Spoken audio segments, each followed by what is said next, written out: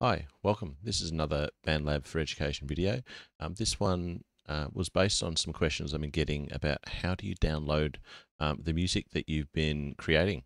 Um, this is great to be able to download either the separate tracks or your song as a mixdown um, that you might want to be able to use or share out with to different people.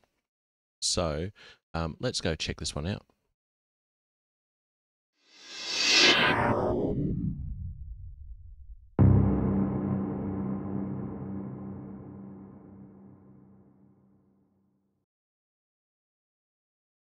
Okay, so here we are over in the mix editor. editor. Um, I've got a, oh, a backing track that I was working on um, for a song called Mad World. Um, so I've got some um, tracks for vocals, got some MIDI tracks here. Um, I've got a guitar audio track um, and some more MIDI tracks here that I've been labeling down the side here. And so this is just an example. So you might want to be able to download um, all of these separate tracks. You might want to take something into another um, DAW program. Um, there you might be doing some recording offline rather than using the BandLab website. So to be able to download these things, there's two options. We can download the separate files or the mixdown. So let's have a look at these two options. So up here under File, we've got Download and we've got these two options. So let's go with Tracks and see how this works.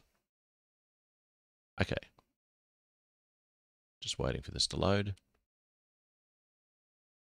Okay, here you can see all the different colored tracks that I had. I had um, a few vocal tracks, the piano solo part from Mad World, um, a chord track, and those things that I've labeled down here. And over here, I've got the download options. So let's download a few of these. So the piano solo was a MIDI track. Um, the guitar was an audio track. So let's download those two. Okay, so here you can see I've got these two download files, um, and they're a .m4a file. There's no opportunity to pick any other file types. Um, I've raised this as a, a, feature request. Hopefully they'll um, take this on board so that you'll be able to download either the MIDI tracks or this is an MP3 or WAV file. Um, but these .m4a files can be played in most programs. VLC plays that most audio programs will be able to play these pro these things. Um, although when I tried to import it into one of the DAWs that I use for recording, um, I needed to uh, cha change it into a MP3 or WAV file. Okay, so just bear that in mind. Um, let's hope that they upgrade this at some point. So that's downloading um, the stem files, so the separate stem files that you might want to be able to use. So let's go back a step and look at the other options. So the other option was the mix down option. Here we do have a few options. Let's click on this one. Here you've got the option to download it in a few different ways. We've got medium quality and take notice of um, the si size of the file that these might end up being in the um, kilobytes. Okay, um, the highest quality WAV files and high definition WAV files. So these will have a different size um, file. So if you're wanting to be able to share it very quickly um, in an email, um, you might want to have a, a, small file type just for as a sample. Um, if you're wanting to play it through a nice quality sound system, you might want to go for the slightly higher quality.